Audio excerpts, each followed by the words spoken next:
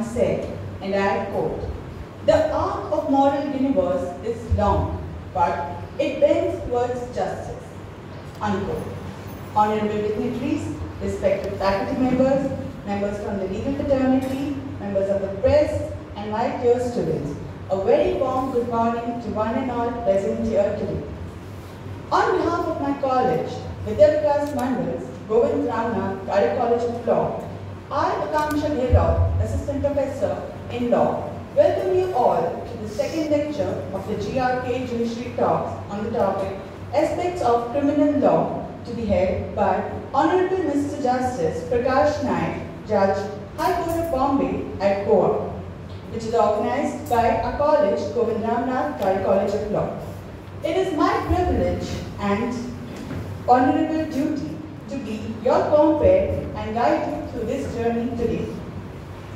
We are honored to have amongst us our distinguished guests and dignitaries, Honorable Mr. Justice Prakash Naik, High Court of Bombay at Goa, Advocate Pritam Morais, First Vice President of the Vidya Vikas Mandal, Advocate Prasad Naik, Member of the Board of Management and Member Governing Council of our college. President of PTA, Advocate Abdul Asikar. President of GRKCL Alumni Association, Mr. Sanjeev Desai. President of Consumer Forum, Mr. Sanjeev Chornikar. And our dear Principal, Dr. Maria Goretti Simoes. Today's talk is a celebration of knowledge and a tribute to the ever-evolving realm of law. We have gathered here today to deepen our understanding of the principles that shape our legal landscape. I, on behalf of my college, would like to express our deep gratitude to Honorable Mr. Justice Prakash Naik, High Court of Bombay at Goa for taking the time to be here with us today and share their wisdom. So, we are confident that this lecture will be both enlightening and inspiring. As we begin this auspicious day, it is customary to invoke the blessings of the divine. To set the tone of a day, we have a special invocation song that will uplift our spirits and guide us on this meaningful journey. I now call upon the students to present the invocation song.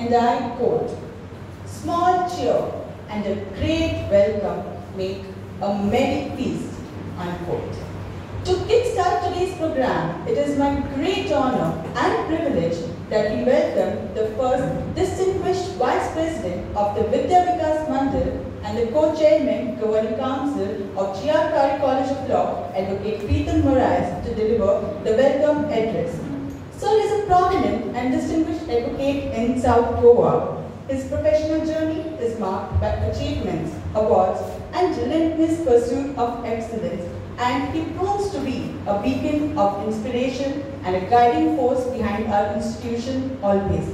Sir, over to you. Mumbai आणि गोंय उच्च न्यायालयाचे न्यायाधीश भोवमनीस प्रकाश बाब नाईक मागीर तशेंच ह्या सभागृह आशिल्ले बाकीचे मानेस विद्यार्थी भावंडो आणि भयणालो सगळ्यांक तुमकां खूब मायेन आनी तितल्याच उपाट मोगान भरिल्लो बाई मोगाचो येवकार दिता सुमार दोन म्हयने फाटीं म्हजी पयलीच भेट भोमदेश न्यायाधीश प्रकाश बाब नायका लागीं जाल्ली साऊथ गोवा एडवोकेट्स असोसिएशन हांणी एक कार्यक्रम घडून हाडिल्लो आनी ह्या कार्यक्रमाचे आमंत्रण घेवन आमी हायकोर्टात गेल्ले म्हजी सांगाता म्हजो कलीग एडवोकेट प्रसाद बाब नायकूय आशिल्लो आमच्या मनात असो एक गैरसमज जाल्लो आसा की polished man has to speak polished English ती एक ब्रँड इमेज अशी आसा की तूं पॉलिश जर दाखोवपाक सोदता जाल्यार तुवें पॉलिश इंग्लिशेचो वापर करपाक जाय. लॉर्डशिपाक मेळूंक गेल्लो इंग्लीश पॉलिश आसपाकूच पडटाली. अशी पॉलिश इंग्लीश यूज करून पॉलिश यूज वापर करून हांवें न्यायाधीशाक आमंत्रण दिलें. न्यायाधीशान हें आमंत्रण आयकून घेतलें उठलो आनी मागीर म्हणूंक लागलो. हांव गोंयकार मूळ गांव पेरणे आनी मागीर केपे. म्हज्या पॉलिश इंग्लिशीची जाप म्हाका पॉलिश कोंकणी भाशेन मेळ्ळी. अशें मानेस्ता कोंकणी भास सोडून आनी खंयच्याय भाशेन योगदान दिवप योग्य जावचें ना तुमच्या सगळ्याच्या वतीन हांव आयच्या मानेस्ताक ह्या संवयार खूब मोगान योगदान दिता. आमी ताचे उपकारी आनी ऋणकारी ते हांगा आयले ताचो मोलादीक समय आमकां दिल्लो आसा. गोंय गोंयकाराचेर आनी गोंयचो प्रेम असोच तुमचे काळजांत सदांच उरूं देव बरी करूं.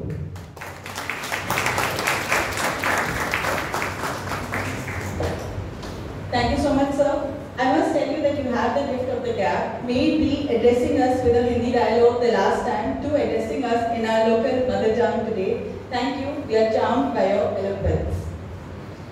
A tradition as timeless as it is meaningful. The presentation of flowers signifies respect, admiration, and warmth.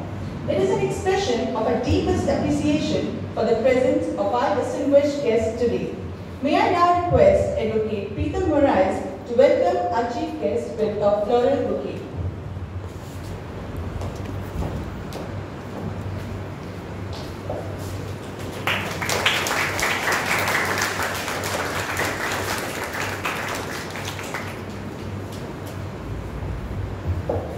Thank you, sir.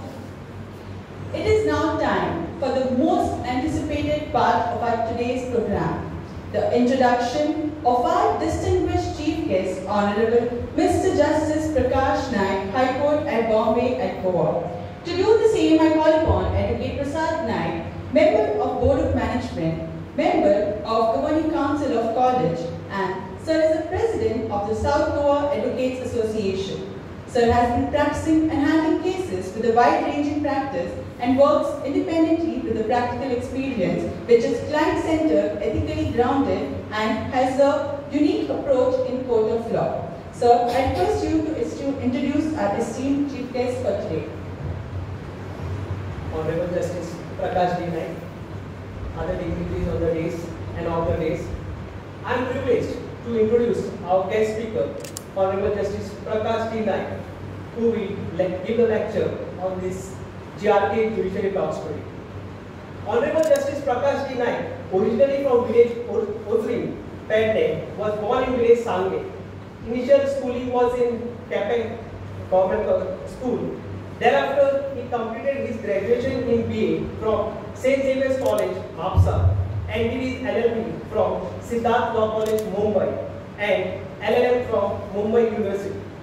He was enrolled as an advocate of the roads of Bar Council of Maharashtra and Goa on 21st July 1986. He joined the chambers of senior advocate Shirish Gupte and initially started his practice both in criminal and civil matters. Later on, he specialized in criminal matters. Besides his practice as a law professional, he was also engaged as a part-time professor in Jitendra Siddharth Law College, Mumbai and was a visiting professor for LLM course in Bombay University, Mumbai.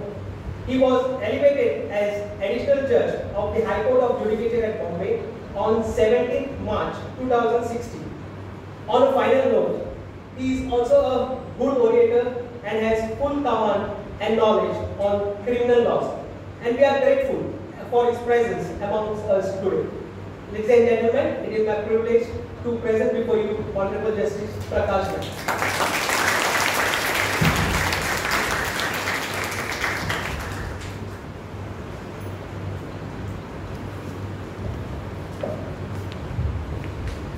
Morning everyone. Uh, the principal, principal of this college, Advocate Moraes, Advocate Prasad Naik, Advocate Abira, the other lawyers who are present here, journalists, and my dear students. Uh, in fact, it will be a great pleasure to be amongst the students to speak few words on the topic which I have been uh, going to speak before you today. Uh, Mr. Prasad Naik has said I am a good orator and I have a mastery of criminal law. I don't think so. But I would make an attempt to express my view little experience which I had as a criminal lawyer and as a judge by dealing with the matters, criminal matters. I would never consider myself to be an expert in criminal law or any other law. The law is such a thing that you can never master it in a day or in years together. You keep on learning. And I keep on learning it, as I said, always say, from the lawyers who appraise me and who update me about the day-to-day -day changes in law, new laws, interpretation of law, judicial precedents. And on that basis, I develop my knowledge of law. As a students of law, it's a challenge before you to master the profession of lawyer. I recollect during my days, this legal profession was not given any importance. Because people used to think that it's not rewarding. I recollect those days when uh, I had no telephone in my house and I used to go on a public telephone. It's a small illustration to give you how the, the law had changed, how the, the people's uh, approach towards legal profession exchange. And the owner of the telephone booth could understand that I used to talk to some of my clients on the uh, public telephone. And one day he asked me, तुम्हाला काही मिळतंय का That means, do you get anything in this profession? So this was the impression of the members of public with regards to the legal profession. It was indeed true to some extent. When I was studying law, most of my colleagues who were studying are employed in some, some, some concerns, some private concerns, banks or government uh, institutions, etc., etc. And law was being studied as a part-time studies. But now I could see that this introduction of five years law course, and even for three year law course, all those students who are serious in this profession are joining law. And the dimension of legal profession has completely changed. Now there are several ventures, avenues open to the lawyers. And considering this fact, it's a challenge before you to develop yourself as a thorough professional, as a lawyer. Whether you practice in criminal law or whether you practice in civil law. You have to master this profession. And for that, you have to keep certain factors in mind as to how you are going to master life is a canvas. You are a masterpiece. You have to draw your life by developing yourself as a good citizen, as an able citizen, as an able lawyer when you practice law. Today you are students, tomorrow you are going to be the lawyers. So to be a lawyer, what is required to be done? You have to start right from inception, right from now when you are a student. At least now you have moot courts, we had no moot courts. I don't recollect having visited any court when I was a lawyer, uh, when I was a student of law. Now, the practical, practical experience is given by participating in moot courts.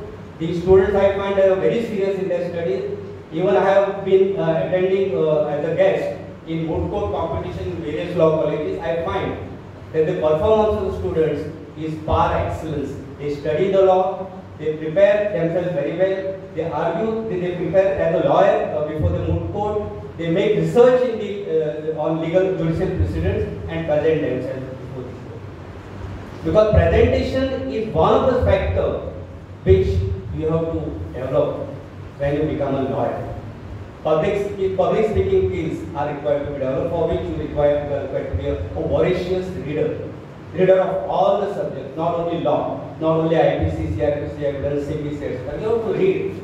You have to read all the subjects, whether it's politics, whether it's science, whether it's medical science, medical jurisprudence, or any other topics. You have to be. You can you can face any challenge to uh, uh, contest any type of matter when you practice law. You should understand your strength. You have a strength. You should understand, and you should develop your strength. You know that hummingbird, small bird, it's a very small tiny bird. The number of times it flicks its wings, that shows a strength. The ostrich has a strength in his legs. Likewise, you should understand your strength. You know the story of David and Goliath. One was a giant and one was a small, but the smaller one succeeded. This is what you should have of yourself when you become a lawyer. This is on the motivational aspect as as how to how you should start and look at your profession right from today. Now the topic of uh, today's discussion is aspects of criminal law. You can be a criminal lawyer, you can be a master, you can be a defense lawyer, you can be a prosecutor, you can be a civil lawyer. When I started my profession for a few years, a couple of years, I practiced in several courts. Then it so happened that I joined a lawyer, a senior, who was exclusively practicing criminal side and after a few years, I found that nobody used to approach me for civil matters. And I started getting criminal matters. And then I developed myself, tried to develop myself as a criminal lawyer. So as a criminal lawyer, we should study in depth the criminal law. If you want to master the profession in criminal side, you have to study in depth the criminal law. What is crime? Crime is violation of public laws. Crime is punishable under the penal laws. According to Blackstone, the crime is violation of public duty. A person who is required to follow his public duty is committing violation of that which is punishable under the law. While studying criminal law, you should also understand what is criminology.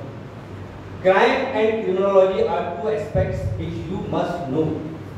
Criminology is the study of crime, a criminal, behavior of the criminal, the causes of crime, these uh, theories of punishment, these theories of the schools of criminology. In crime, there are various elements of crime we have to in-depth understand what are the ingredients which would constitute a particular crime. There are stages of crime. What are the stages? Intention, preparation, attempt and accomplishment. A person would intend to commit a particular crime, then he would prepare himself to commit that crime, and then he would make an attempt, and the attempt, when, uh, when he makes an attempt, it becomes an accomplishment. These are the stages. There are elements of crime. There is something called an actus reus. There is something called a mens rea, concurrence, conduct. There is a, the Latin maxim, actus reus non facit nisi mens sit rea. Actus and is a conduct of a person. He would conduct, you uh, then accuse a person, offender, would commit a particular act towards commission of crime. Actors and reus, conduct, behavior, commission, accomplishment. These are the elements of crime which are required to study. As a student of law, you have, I think you should have, you must be having a uh, subject of criminology also. Criminology is a subject, of course, you may think that when you practice law, you may not be, uh, it's not necessary to study, but it's not like that. When you argue a matter before the court, uh, sometimes a question of punishment or penology is also involved. Victimology is involved, which you are going to study in while you study the, the criminology. In criminology, there are theories of punishment. As I have said, criminology is the study of a criminal behavior, study of crime, why a person commits crime, and what punishment should be given to them. There are theories of punishment. Which are those theories of punishment? Retributive theory, the theory of reformative, deterrent theory, compensatory theory. These are the theories which would help you in understanding what sort of punishment, how much punishment should be given to criminal. Now law prescribes a maximum punishment and minimum punishment. What is retributive? Retributive was considered to be eye for an eye. That means if a person commits harm, commensurate with that harm, the person should be punished. Deterrence means to deter a person from committing a particular crime. That if a person is punished, if a given a death penalty, the others would deter from committing the crime. It's for them, those other persons who would be prevented from commission of crime. That is the effect of deterrence. So what do you mean by reformative? Reformative is where an opportunity should be given to a person to reform himself. It's not that every person is criminal by nature. Sometimes because of certain circumstances the person commits a crime, he must be given an opportunity to reform himself. That is reformative theory of punishment. Compensatory, to give compensation. That a person can be, who is a victim in that case, should be given compensation. And preventive theory of punishment, to stop him from commission of crime. A person should be stopped so that he would not commit crime in future. Then sentencing him to jail for imprisonment.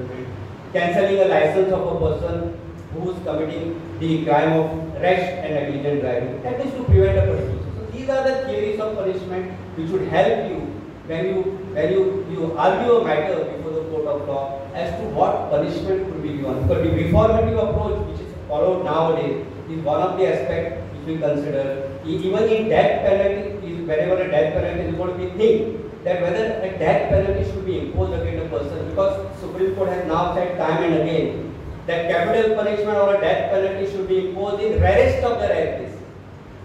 Therefore, some sort of reformative approach should be given. Of course, when a person is convicted for an offence under 302, that is murder, the maximum punishment is death and the minimum punishment is life imprisonment.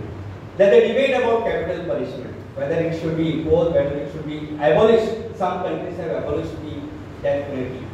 The, the persons who support the abolition, their argument is that death penalty ultimately doesn't help. It has not decreased the commission of heinous crimes. So why death penalty?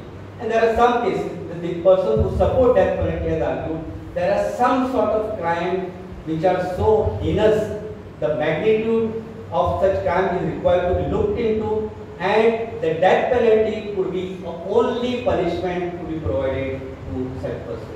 Now Supreme Court in various decisions like this, those decisions like Machi Singh, Bachi Singh, then Nirbhaya murder case, then Shabnam's case, then that Manu Sharma's case, several other cases the Supreme Court has now slowly uh, laying down the guidance to consider what is aggravating circumstances and what are the the, the, the other circumstances, uh, the, the migrate, uh, motivating circumstances which have to be considered while imposing the death penalty.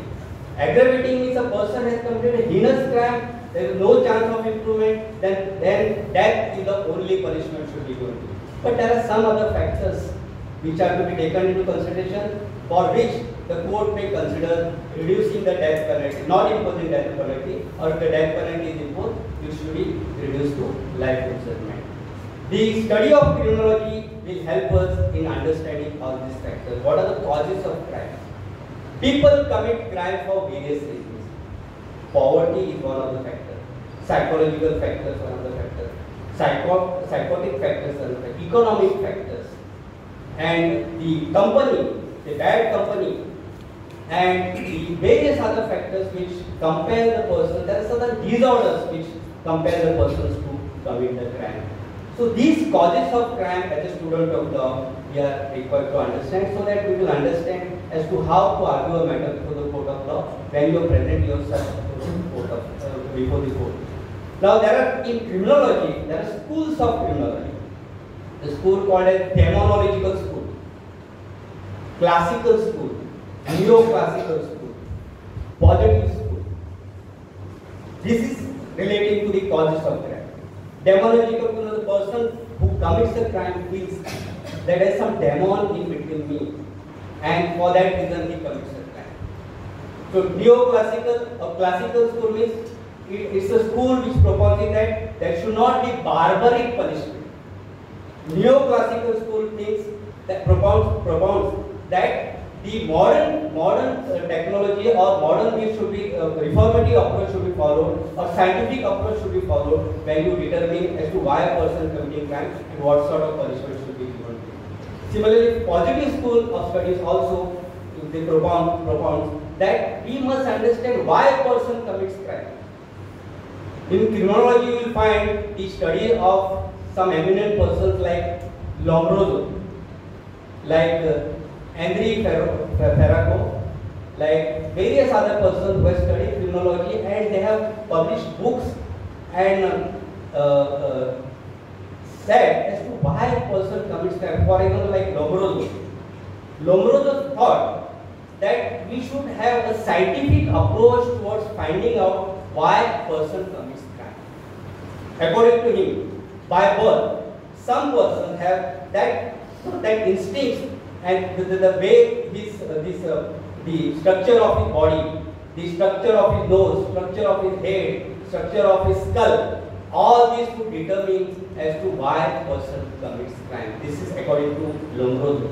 Then similarly, various others uh, like Garofalo. Garofalo has said that, that these factors we should understand as to why a person is compelled to commit crime. Sometimes it may be because of economic factors, but there are some people like psychotic disorders, having psychotic disorders.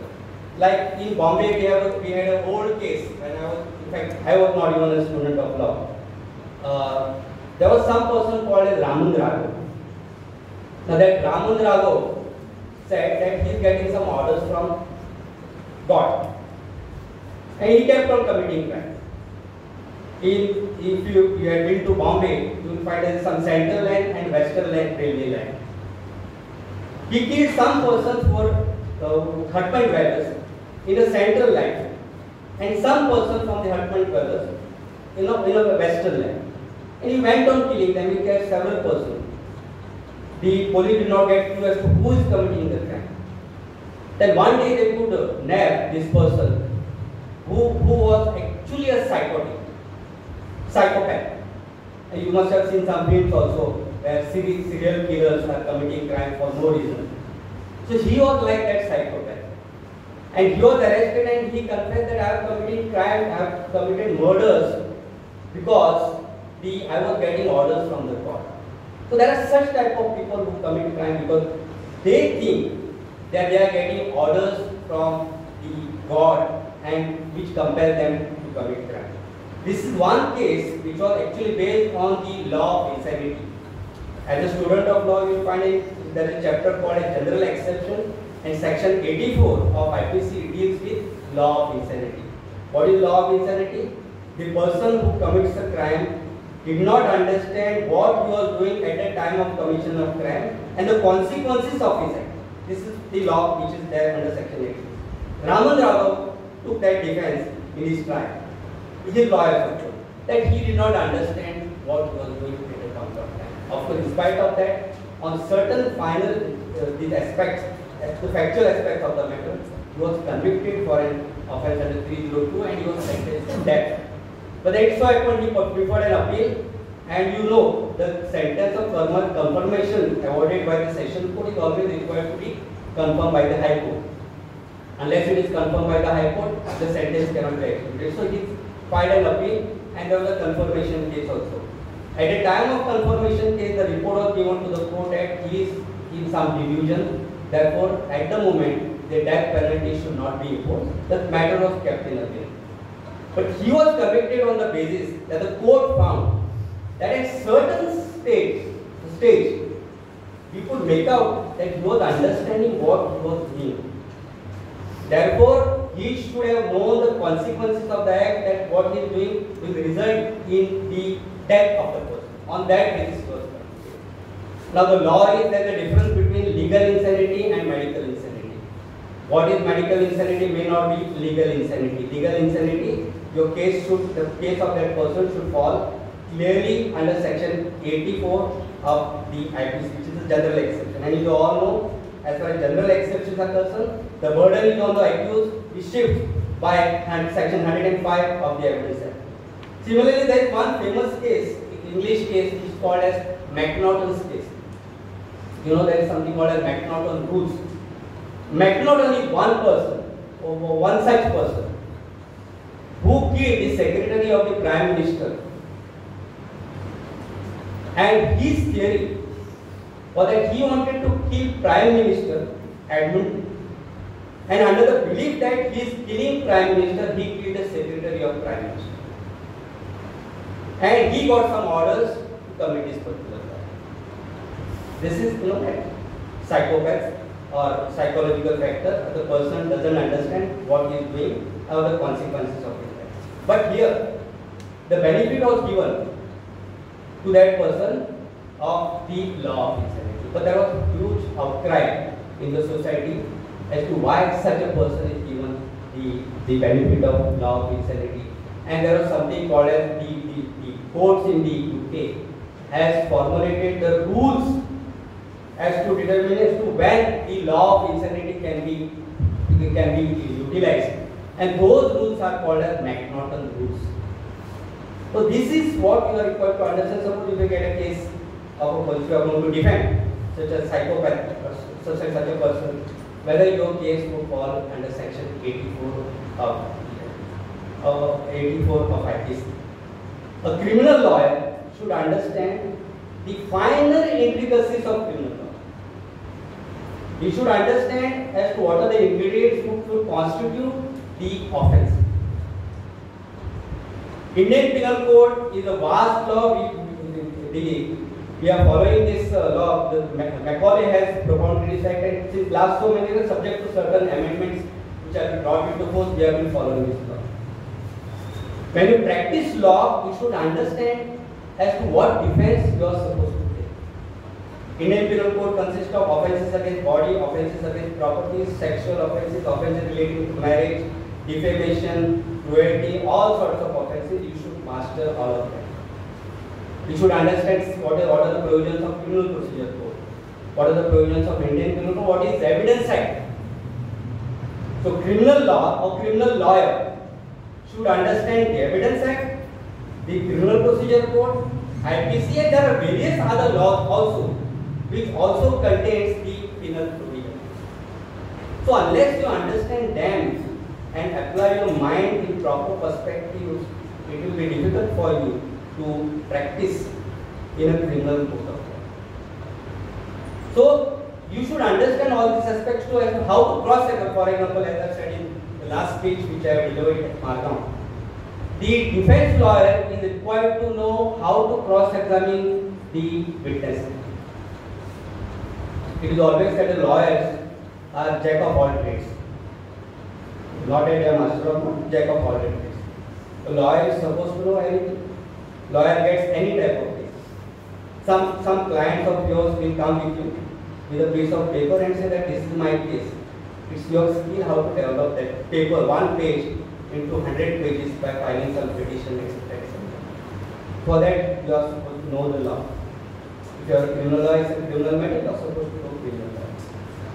The Code of Criminal Procedure contains various provisions related to investigation and rights of accused. If you are a defense lawyer, you should know what are the rights of the which you will find under the Constitution as well as under the Code of Criminal Procedure. What are the basic rights of the? Now, there are the person who has committed a cognizable offence can be arrested without warrant. That you will find in section 41 of the Code of Criminal Procedure.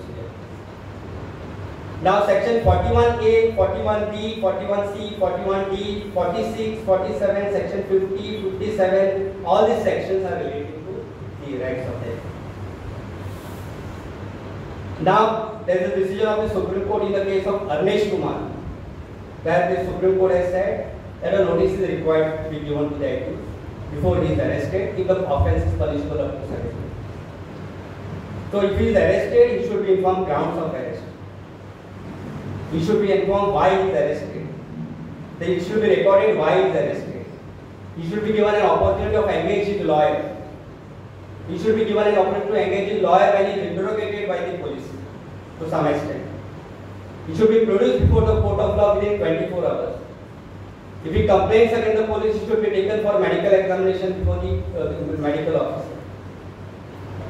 All these provisions you have to know when a client approaches you, when he is arrested, when he is produced before the court of law. Similar rights you find in Constitution. Article 20, Article 22 are the two basic provisions which contain the rights of the accused. It deals with the right to inform about the grounds of arrest. The person cannot be punished for more than the punishment provided for that offence at the time of commission of offence. Person cannot be compelled to speak against him or to be witness against himself. He cannot be compelled to give incriminating evidence against himself. He should be produced before the court of law within 24 hours. He has the right to defend himself.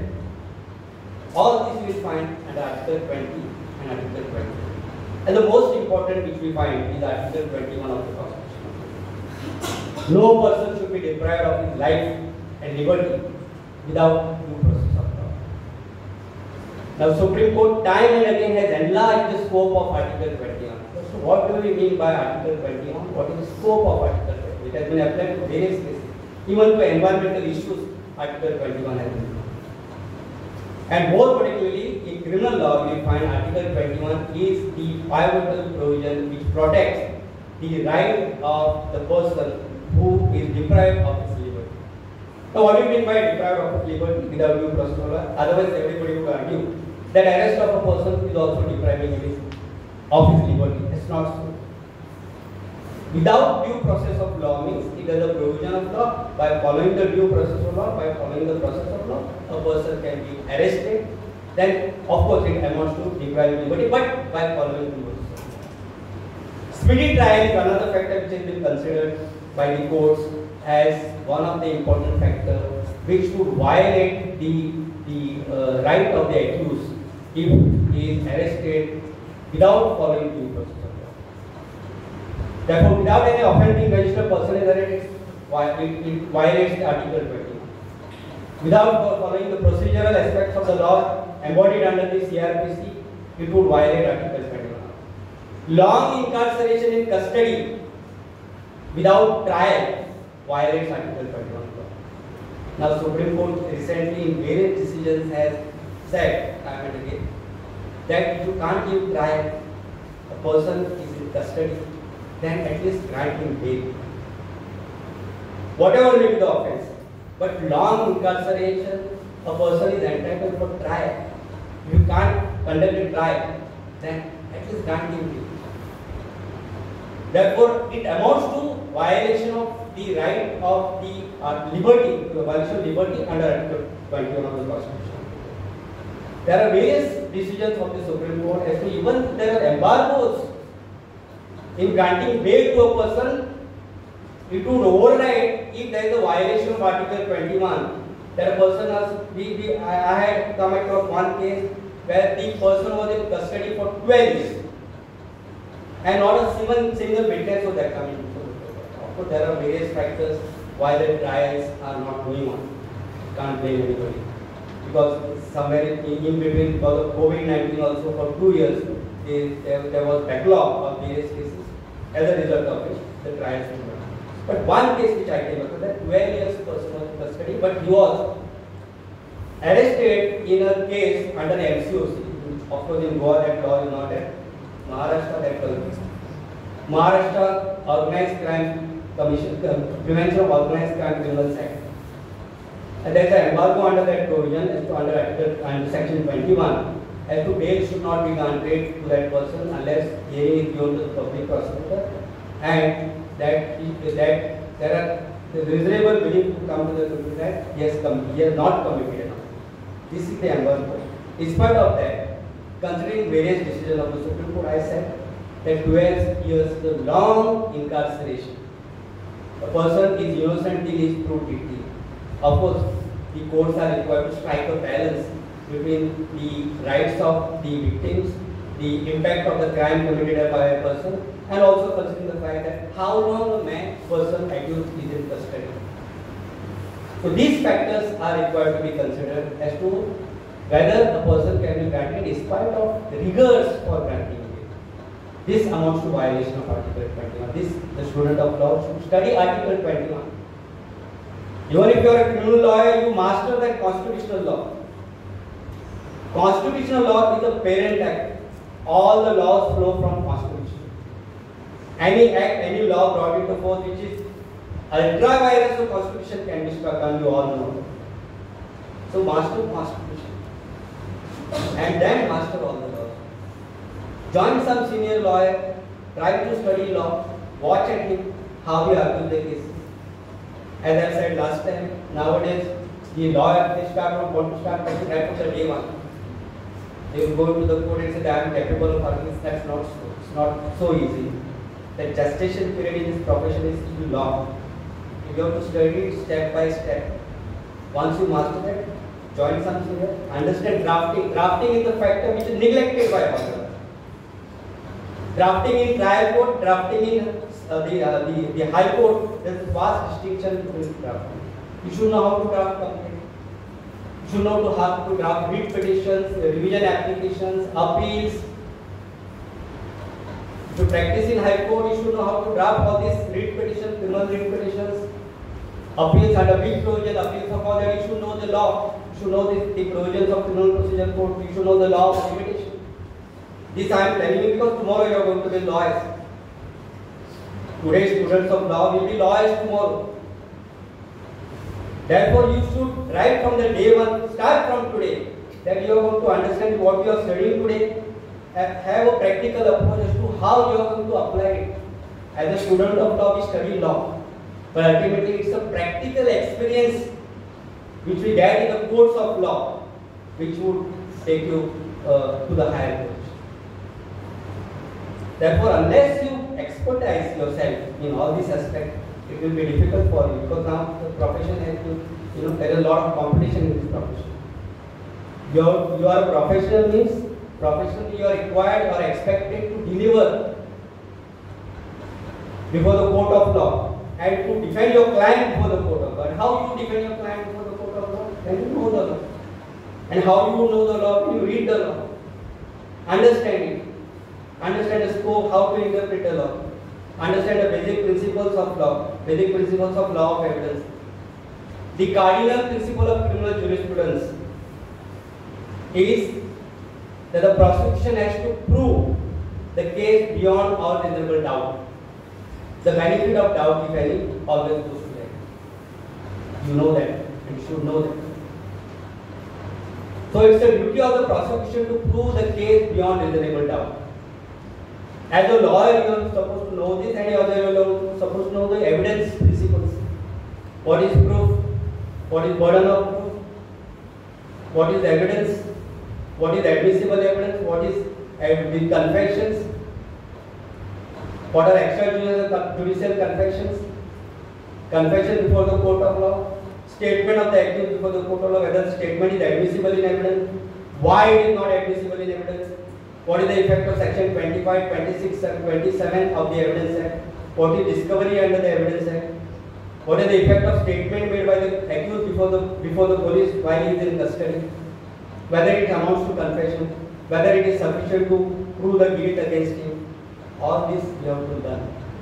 And that, for that, you have to study, you have to read the provisions of law. As I have said, unless you read and understand and interpret, it will be difficult for you to sustain the profession. But commitment, hard work, of course, is going to take you to the, the best position in life as a lawyer. So these positive pro- provisions you must master. Like for example, a person is arrested. He will be produced before the court. Your work start from that. You will appear for him as a lawyer. Now the procedure is, he will be produced before the court of law. He will be remanded to custody. You should know whether he is produced before the court within the time limit. What is that time limit? 24 hours from the time of arrest. Whether the grounds of arrest are informed to him. For what offence he has been arrested. Whether it's a bailable offence, non-bailable offence, cognizable offence, non-cognizable offence. What are the bailable, non-bailable, cognizable, non-cognizable? The common man feels the bailable means bail can be granted. Non-bailable means lifetime bail cannot be granted. That's not so. Non-bailable doesn't mean that no bail should be granted. Non-bailable means if a case is made out of court can grant it.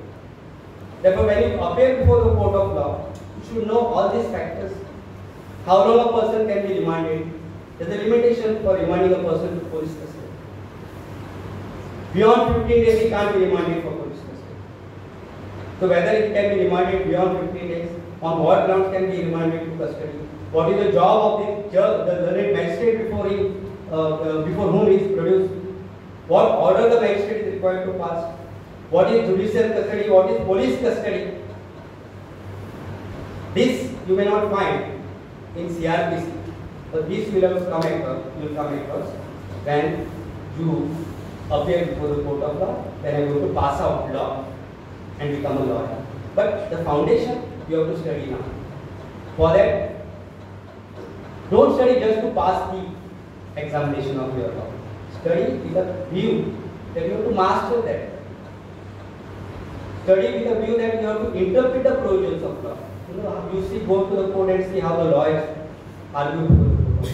They will convince the court that what is wrong is what is right. What is wrong is right, that is just the lawyer tries to convince the court. The lawyer convinces the court that don't give him 10 years imprisonment, give him 5 years imprisonment. That, that penology, principle of penology would come into force, theories of punishment would come into force. That you should understand. Are the circumstances in which he committed crime. Why he should not be sentenced to life imprisonment? Why he should be sentenced only to two years? Why he should be released on probation? Why a lesser punishment should be given to him?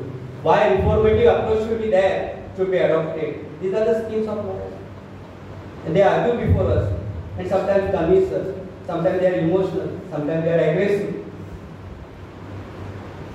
Sometimes they, you know, that go that googly and see that the court is, uh, you know, compared to believe what they are saying. And this is the skill of I was also once upon a time a lawyer, and now I am on the other side. I was also lawyer. I understand how to the uh, lawyers argue their cases, and they always, of course, it is their right to defend their client, and they are rightly doing so. But when you become a lawyer, you should also keep in mind one thing that that professional ethics you should keep in mind. Overnight money, easy money, immediate money. You can't, you don't want to buy Mercedes immediately within two years of your practice. Don't go for that. Take time, develop yourself. And when you slowly become, develop yourself and become an able lawyer, then there is no end for earning in this profession. And this profession, till you are hale and hearty, you can practice profession. There is no age bar. But go step by step. So coming back to when you when a person is produced before the court of law, you should understand what are these factors, what are the procedural law to defend your client. So that's I said bailable, non-bailable, then remand. There are several cases as to how long a person can be remanded custody. That Anupam Kulkarni's case, we say that it can't be more than 50 days. There are cases on the arrest of a person, that Joginder Kumar's case, which deals with the arrest of a person. There are cases about the uh, the no, notice under 41A to be given that, that is that Arnesh Kumar's case. There is a case of D.K. Basu, which says that person should be, the accused should be informed of his right to engage lawyer of his choice. Grounds of arrest. There are several self discipline which you should know. There is a right of bail to the accused. As I said, bailable, non-bailable. The bailable, the, the bail can be granted easily. Section 436 of CRPC deals with bailable offences. 438 deals with pre-arrest bail anticipatory 439 and 436 deals with, uh, 439 deals with grant of bail by session court and high court, which the magistrate doesn't have power. There's a default bail under section 167.2 of CRPC, which you must take chance that you are required to file an application for default. All these aspects you must know to what is default date. Because you have to, as a lawyer, you have to file an application immediately seeking that bail under for default. Because once the charge sheet is filed, the bail cannot. So how the investigation proceeds? See, the FIR is registered under 154. Then the person is arrested or not arrested. If he is arrested, he will be remanded. After the police remand is over, judicial custody will be granted. After the judicial custody is over, then the police might file a charge sheet. So the limitation prescribed for filing charge sheet 60 days or 90 days depending upon the punishment provided under the law. If the charge sheet is not filed within 60 days or 90 days as per the offence which is charged against him, uh, application can be filed under 167 for bail which is called a default bail. The charge sheet is filed under section 173. Further investigation can be conducted under 173A. And then the case is put out before the court of law. Charge sheet is filed before the court of law. Then the case is either triable by the magistrate, it is either triable by the session court. So depending upon the nature of offence committed, the offence which is committed under the IPC, is one schedule provided under CRPC. There will get all these details. Whether the offence is non-bailable, cognizable, non-cognizable, triable by which court.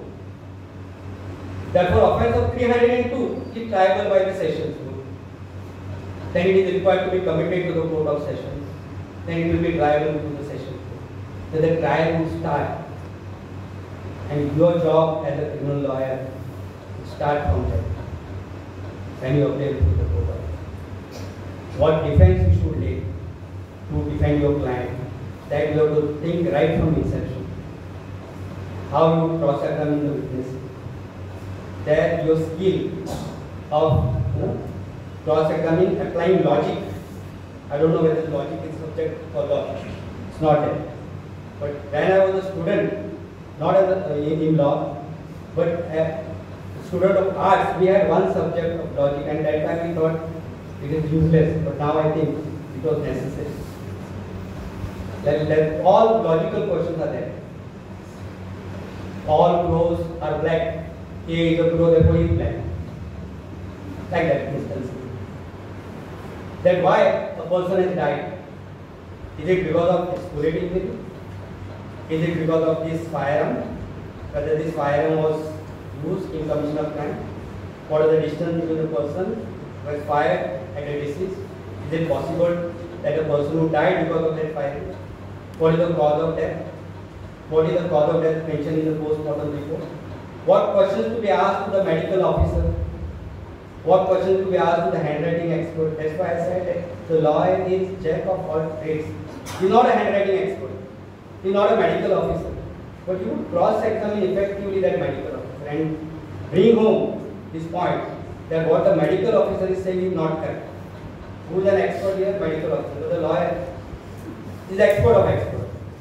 This is where your skill is required. You should join this profession. Nowadays, uh, unfortunately, we find that all these students who basically studied in national or university, they can become professional. They join some multinational companies and uh, maybe because uh, they are paid well, for the flat packages. But the challenge is in the legal profession. The challenge is when you practice in the court of law. And everyone must, must practice in the court of law. I remember when I passed out, only two of us from my class had joined the profession.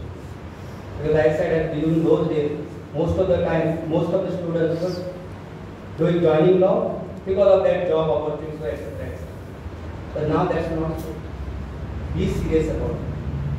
And apply your mind right from inception. Now, from now onwards, you think how you are going to develop yourself as a lawyer. The apart from the, the CRPC and IPC, as I have said, you should also learn the evidence act, which is the most difficult. Even today, I find it difficult to understand some of the provisions of evidence act. According to me, the evidence act is the most difficult act which we are having in our country. What is proof? What is disproved? What is admissible? What is not admissible? The state, the general public says that he has admitted a commission of murder and how he is acquitted by the court. That is a general perception, not a lawyer's perception. Lawyer would know that the statement made by him before the police is not admissible. It is hit by section 26 of the evidence. Otherwise, what would have happened?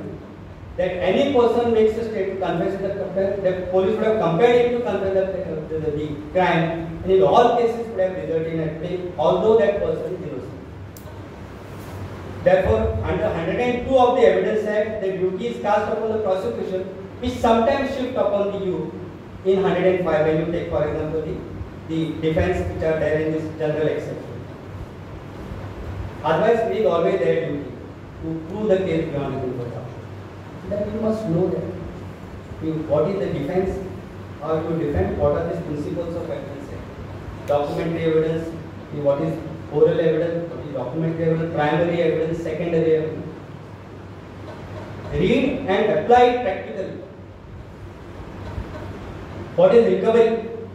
What is discovery? How it is proved in the court of law? How the documents are marked as exhibits in the court of law? Where to stop cross-examination? Last time also I have said that you go on cross-examining and go on damaging your case. A lawyer should know where to stop. A lawyer should be a good listener. A Lawyer should have a patience. Lawyer can be sometimes aggressive, but most of the time the lawyer should be submissive.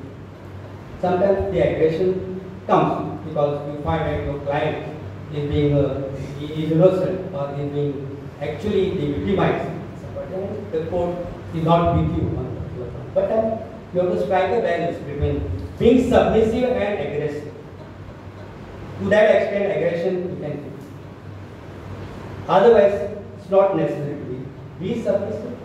You see that how you would convince the court to bring home the point which you are going to argue. Convince the court. Don't antagonize the court. Convince him as to how you are right. And as I said, if you law if you master the law, you will be in a position to argue for the court.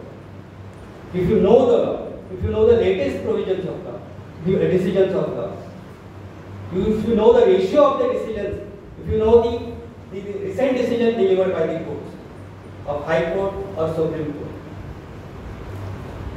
if you know the judicial precedent, what is the effect of judicial precedent, binding effect of judicial precedent, how to interpret the provisions of law, what do you mean by harmonious construction, what could be the meaning of a law. You have to see the preamble of that law, act, to understand what could be the meaning which has been assigned to that particular provision in the law if you want to argue. So criminal law, criminology, penology, victimology are all these aspects you have to keep in mind. And you have to be, as I said, work hard, you have to work hard. There is no substitute for hard work. And do it right from inception now. Before that, read your read books of law, read other books. Public speaking, develop yourself as a public speaker. Stand in front of mirror if you're getting scared of talking. Read a newspaper, find out what changes it will make you. Develop your vocabulary. Your vocabulary can be developed only by reading. New words you have to find out. What are the new words? Go to the dictionary. Even if you read newspapers, English newspaper, you want to develop it, you find out various new words, articles in the newspapers. Read magazines. Your thought process would develop when you have thoughts in your mind. And the thoughts in your mind will be there if your vocabulary is strong. You have various words in your mind. And that will help you in convincing the court and arguing the case before the court. As I said, public speaking is one of the factors with the lawyers. You have to, have to develop. So all these students were here. I was also one of the students. I still continue to be student.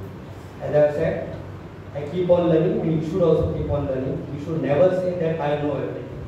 There is no person in this world who knows everything. There is no lawyer in this world who knows everything. There is no judge in this world who can say that I know everything about it. We should keep on learning. I keep on learning, as I said, from the lawyers who are before me. I keep on learning from the members of public. So keep in mind all these factors.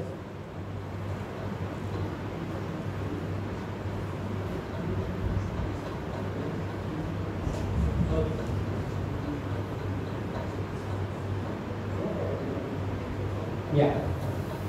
So I think uh, I've taken much of time here, of years, and uh, the you know the talk should not get boring, and one should stop at a particular stage before the people want me to stop.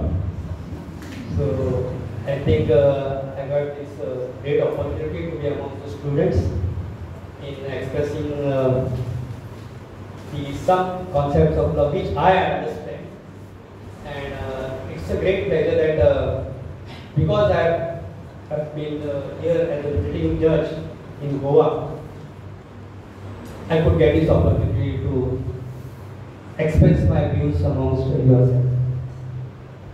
In fact, was in back of my mind all these years after I was elevated, that one day I should uh, be in Goa, so that I would be amongst uh, the lawyers in Goa, the court in Goa where I am born, and uh, the opportunity to share my views with the students is the greatest thing.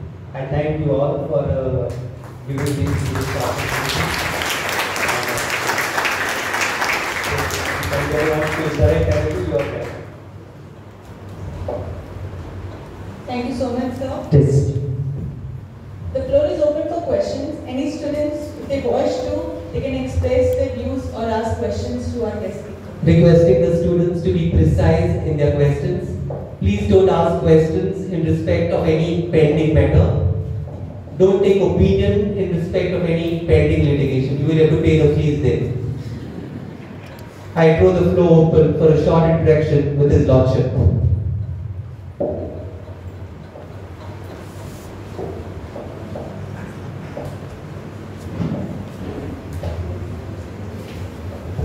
Morning, sir. So, in this modern age of studying vis-a-vis learning, something that you have touched upon, we are told we have to study. But now you tell us we have to learn.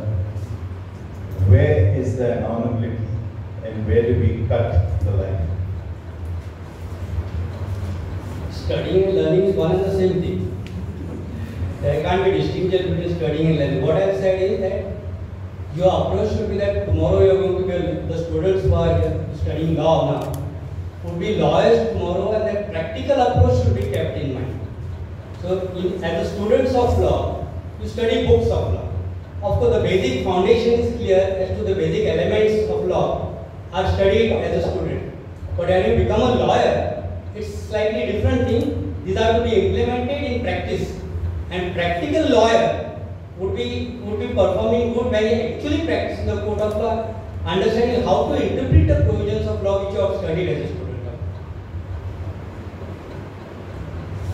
Yes, anything else?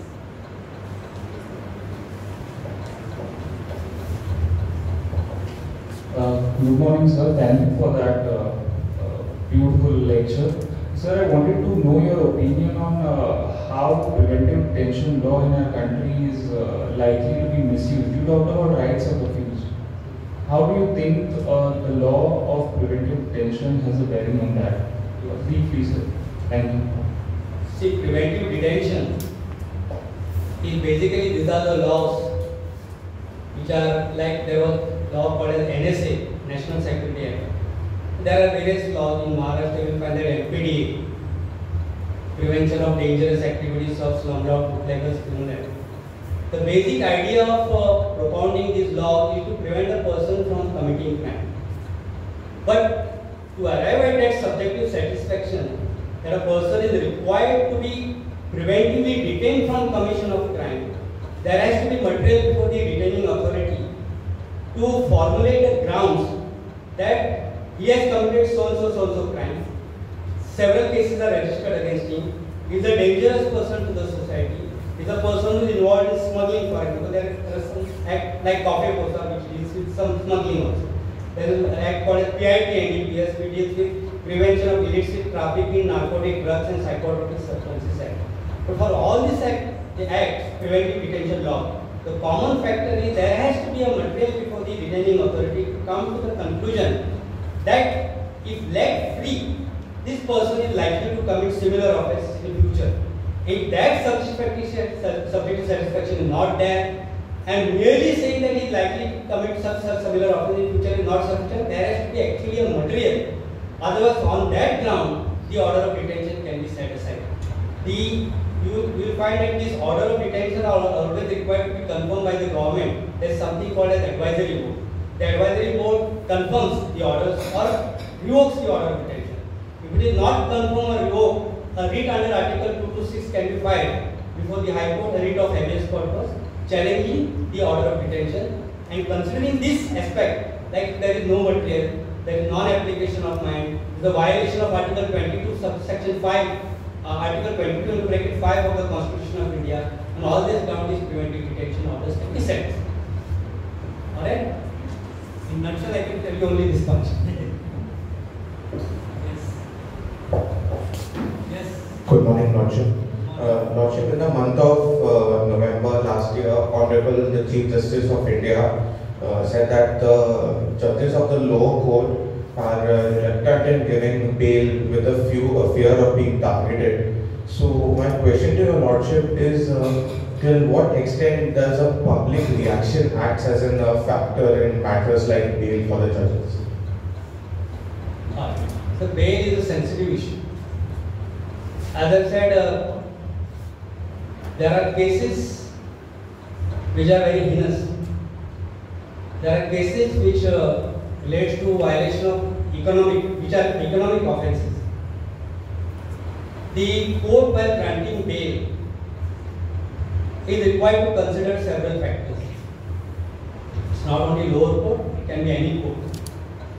The court is required to consider several factors, such as the, the nature of crime committed by a person, the magnitude of the crime, its effect upon the society, the punishment provided to the crime committed by the person,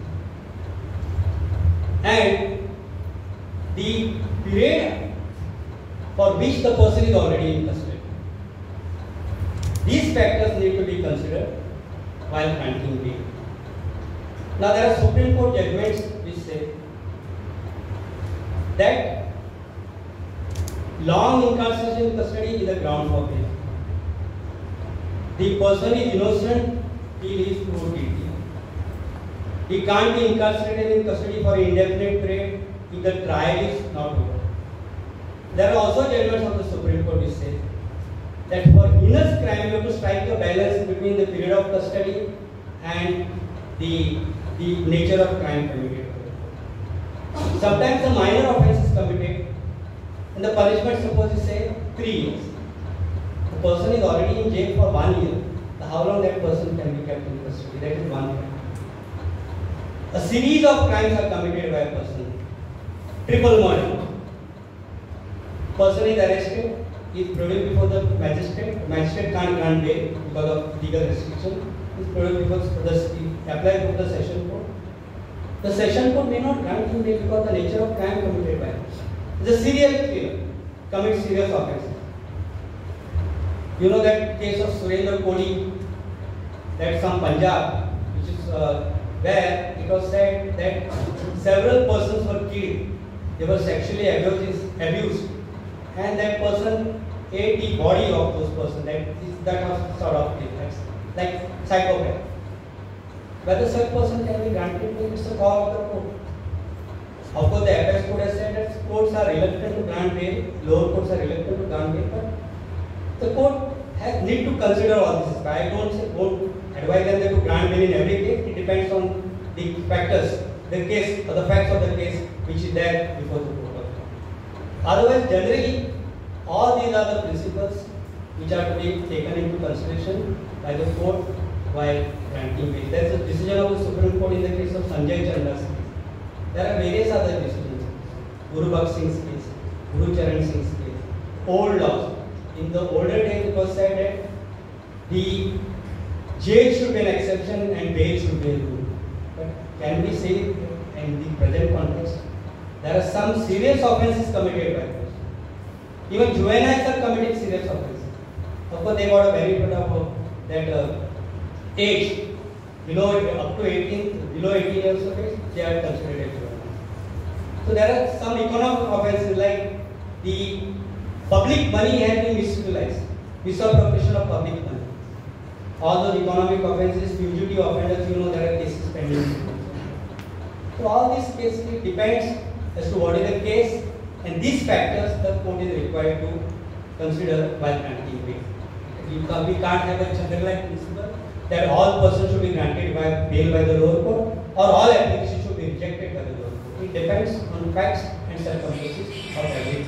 But the court is required to strike a balance between custody and the nature. Uh, yes? Yes? W party. yes, yes. Yeah. Uh, with what has with what has happened during the course of the week with regards to NewsClick and the UAPA law and all that stuff, how concerned should we be as citizens of this country? Because we clearly can see politicization of law or law being used to sort of narrow down on things which may not be a concern, may also be a concern, but may not necessarily be a concern. No, I didn't understand your question. How concerned should we be? How concerned you should be means? Because of what is happening. You know, you just target someone, you go for them, you use the law, you make sure that they are silenced. That what you, how you should be concerned, it's a matter which you should decide. The judge is not required to give his opinion on this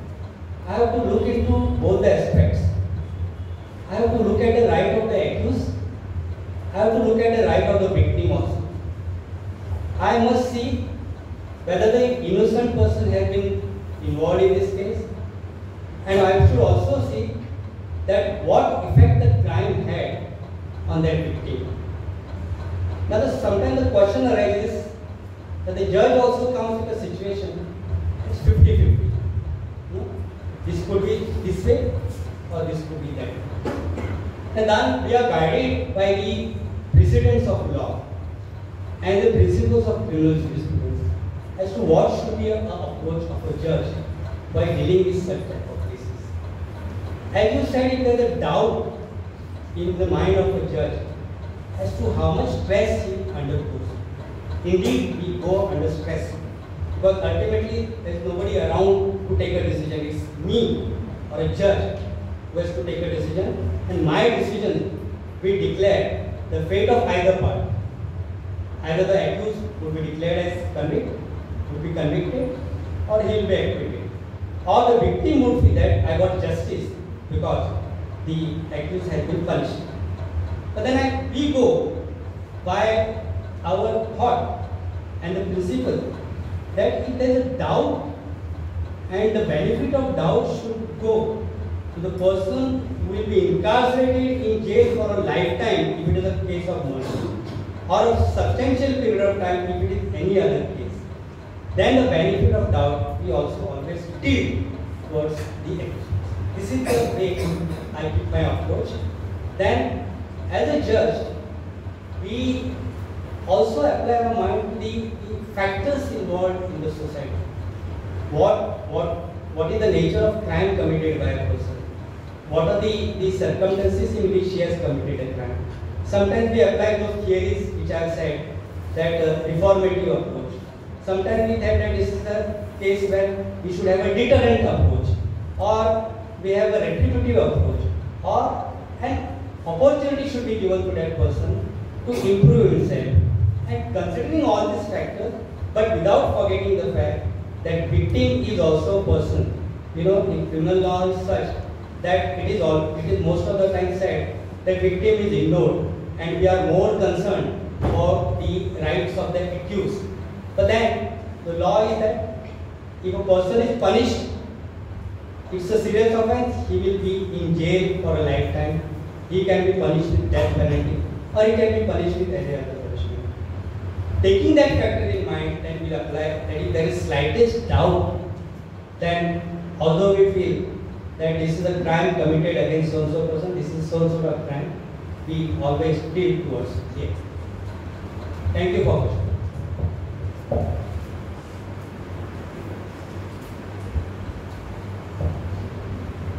So one last question. Do media reports impact judicial decision making? The journalists are here. It is always said uh, that something called as uh, media trial. I won't say that the judges are affected by media because then you would say that by reading newspapers I must be delivering my justice. But it is said by the common public that the medias nowadays are involved so much in uh, publicizing the particular case or the offense committed by a person or giving that decision before actually the uh, trial court tries him for that particular offense. And there's a lot of criticism also that the media can't, can't go to such an extent. That's we, we see that sometimes the, inter, the witnesses are interviewed and uh, before going to the court they give interview to the uh, media. So it is said that it is having an effect. But as far as I am concerned, I would always go by the fact and every judge should go by the fact that what is the evidence before the court of law, what are the what is the what is adduced in evidence before the court of law, how the, the, the prosecution has proved a case before the court of law would depend upon the decision in this case and it would not be influenced by the media and the judges don't get influenced by the media. This is what I can say.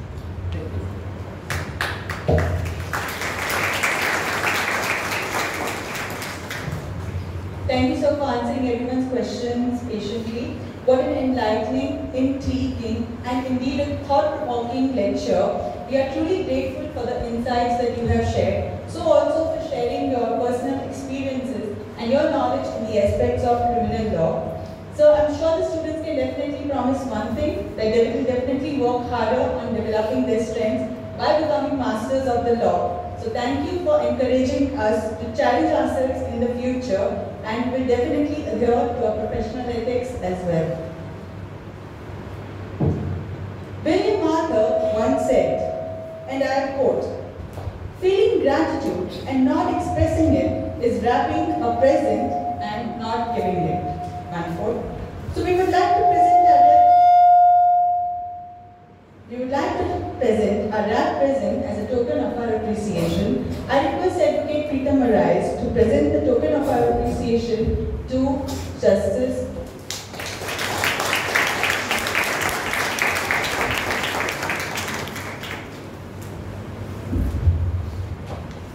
Thank you, sir. Is a six-lettered word, but it is a telltale of a head that bows only in front of those who are worthy of its deference. I would like to invite our esteemed officiating principal, Dr. Maria Goretti Simoes, whose guidance and support has been instrumental in making today's event a great success. She is a true visionary who has dedicated her life to the pursuit of education and betterment of our college. She is a firm believer in nurturing not only the academic excellence, but also in fostering environment of holistic growth where students are encouraged to explore their passions and potential. Ma'am, over to you. Thank you, Akanksha. A very good morning to one and all present here today. Respected His Lordship, Honorable Shri Prakash S. Respected Judge of the Bombay High Court at Goa, dignitaries on the days, off the days, students, ladies and gentlemen. Well, has eloquently delivered this kind of an address without the use of any paper. But sir, you need to pardon me on this because I will have a list to be basically call out here using the paper. So it gives me immense pleasure to be standing here to propose this vote of thanks. I would, at the outset, begin by thanking our esteemed chief guest and resourceful speaker for today's second address of the GRK Judiciary Talks. Honorable Shri Justice Prakash Naik, respected judge of the High Court of Bombay at Goa. The perfect delivery of your empowering speech has really left lasting imprints on the ears of the listeners, especially the prompt manner in which you did justice to the topic, aspects of criminal law. Your Lordship, we are in awe with your smooth delivery of an eloquent address. As I have said before, without even using this paper or any document to read out the content. Thank you for having accepted our invitation to be present here today amongst our midst despite your busy schedule. We are very much humbled and privileged to host you in our small premises. I wholeheartedly thank you on behalf of our faculty, administrative staff and students. Ever grateful to you, sir.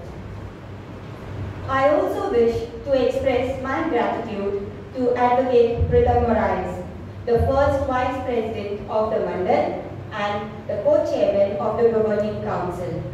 He is the one who has conceptualized this idea behind the judiciary talks. And due to this concept, the students and faculty can witness great judicial minds deliberating on many practical topics like we just did today. Indeed, it is a pleasure to hear all of them, otherwise would have been a distant reality. Thank you once again for striving at excellence and ensuring that this institution reaches greater heights through your thought process. I would also like to thank the President of the South Goa Advocates Association, member of Governing Council of the college, and now a newly inducted member of the Board of Management, Advocate Prasad Naik. He is our very own alumnus who has always supported the institution in every manner possible. Thank you, sir, for your gracious presence here this morning. I would also like to acknowledge the President of the President of PTA, Advocate Avdut Arsekar, President of GRKCL Alumni Association, Advocate Sanjeev Desai, Member of the Governing Council, Advocate Amira Razak, President of the South Goa District Consumer Forum, Advocate Sanjay Turinkar, the members of the press, advocates of South Goa Bar Association, and all the alumni of this institution for having taken your time off. Being a working Saturday, it indeed gives me a great pleasure to see you all at this common platform. I hope, along with this institution, your never-ending support to our great cause will lead us to greater heights. I owe my gratefulness to you. Thank you, one and all. I would also like to acknowledge the actors behind the scene. Not really actors, but actresses behind the scene. Our faculty who have worked towards this day. This happens to be the last session of the GRK Judiciary Talks for this semester. I'm sure that in the near future, with your persistent efforts, we can achieve many, many more milestones. Thank you for your untiring efforts. I also accord a warm thanksgiving to our system administrator, Mr. Akshay Jari, the multitasking staff. To all of you, I can only bow and say thank you. Last, but definitely not the least, our students present here are the undergraduate students of the first year of both the programs and of course the postgraduate students of this institution. Thank you very much students for having come here and made your presence felt by the various kinds of questions that you have posted here today. Which means, in a nutshell, that they were paying attention to the address which was delivered by His Lordship. Thank you. I also thank our council members who have always been there with us, for us, and worked along with us wherever and whenever we require them. I thank you wholeheartedly and am extremely overwhelmed by your presence here this morning. Once again, I thank each one of you individually. If due to inadvertence I have left any name not taken, I beg apologies, but I am sure that your cooperation with us will definitely go a long, long way. Have a great weekend and a lovely day too. God bless you all. Thank you.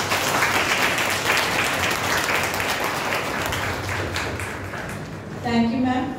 Thank you everyone for being present here today. Requesting everyone to kindly stand up for the national anthem.